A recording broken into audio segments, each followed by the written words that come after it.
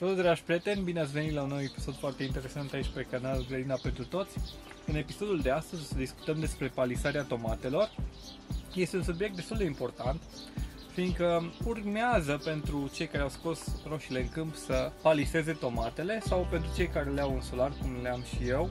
Um, eu sunt acum în prezent în solarul familiei, unde am 32 de fire de tomate. Uitați cum arată în ultimele două săptămâni au început să-și dea destul de bine drumul față de cum uh, arătau. Uh, toate au flori, majoritatea au început să le și deschidă. Am un soi de inimă de bou, am uh, un soi sherry și am aici un soi de tomate mari, un soi cu uh, frunză de cartofi. Bun, și palisare, că discutăm de palisare. Palisare este un, uh, un subiect pe care vreau să-l tratez astăzi. Cel mai, cea mai bună metodă pentru palisare, după părerea mea, este cea pe care eu o folosesc în prezent. Vedeți că metoda asta se poate aplica atât în grădină cât și în solar dar mai, mai ales în solar, dar eu voi aplica și în grădină în anul acesta. Am un fir destul de subțire, legat de sărmal de susținere și roșia, pe cum crește, va fi prinsă, dacă vii un pic te rog mai aproape să filmezi, va fi prinsă cu tipul acesta de cleme. Clemele acestea au un diametru de 32 de mm, dacă mi-aduc eu bine aminte. Și numai, numai, numai bine, nu zugrumă planta când, când este agățată planta de, de această clemă. Haideți un pic mai aproape să, să facem acum uh, legarea. Vedeți?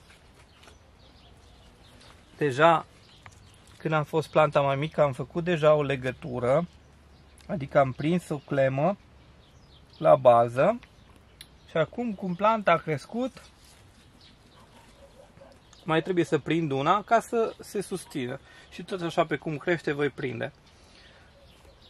Uh, clema se va închide așa și are, are un cârligaș sau un cârlig, să zic așa, un mic cârlig care o va ține. Ați văzut? A făcut click și gata, s-a închis. Cam asta e principiul. Haide să încerc să închid acum uh, planta. Vedeți? Am pus ața în așa fel încât ea să se închidă și urmează să, adică am pus ața în suportul pentru ață ca să se strângă și să susțină cârligașul acesta când se închide. Uh, un pic că trebuie mai jos. Ah, cam așa. Gata. Gata. Deci ați văzut destul de simplu. Și acum planta este susținută deja cu două inele de suport. Haideți să mai facem la o plantă. De data asta la o plantă, la o roșie, la o tomată cu frunză de cartof. Este soiul Brandywine. Foarte, foarte uh, celebru și cunoscut, mai ales în Statele Unite. Eu de acolo l-am cumpărat, fiindcă sunt foarte curios. Sincer, am fost uh, impresionat de ce am văzut pe YouTube la grădinarii americani și am zis hai să încerc și eu anul acesta să văd dacă se aclimatizează. Dar în solar nu cred că e problemă și vedeți că sunt foarte viguroase deja.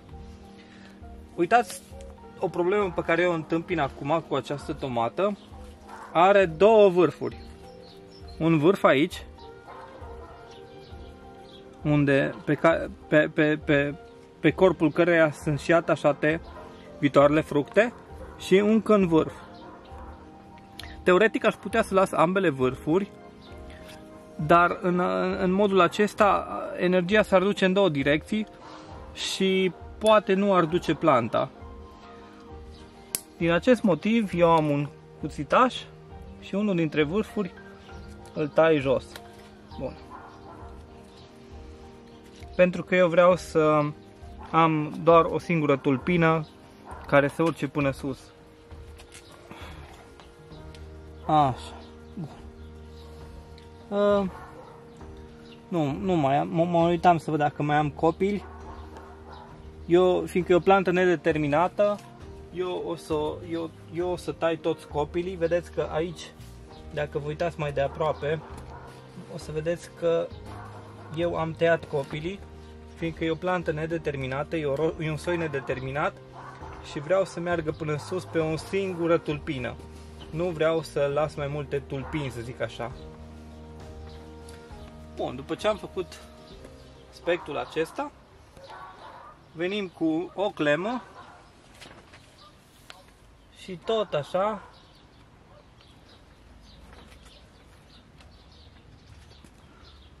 Uh, prind ața și prind și tulpina. Până a făcut click. Și gata planta noastră este acum susținută în două locuri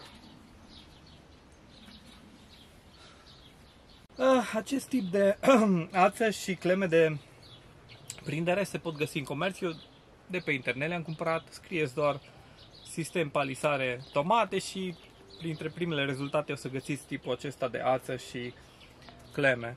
Sunt destul de ieftine, nu costă o avere, acum nu știu exact cât am dat pe ele, dar oricum cred că vă 50 de lei pe 1000 de bucăți de uh, cleme și destul de mulți metri de ață. Uh, sper că ți-a plăcut acest video, sper că ai rămas cu ceva din acest video. Uh, dacă ți-a plăcut, dai un like. Dacă vrei să mai vezi videouri similare, abonează-te apasă clopoțelul de notificări să fii atenționat de fiecare dată când eu postez un video nou și distribuie și prietenilor tăi dacă consider că acest video este de ajutor. Pa!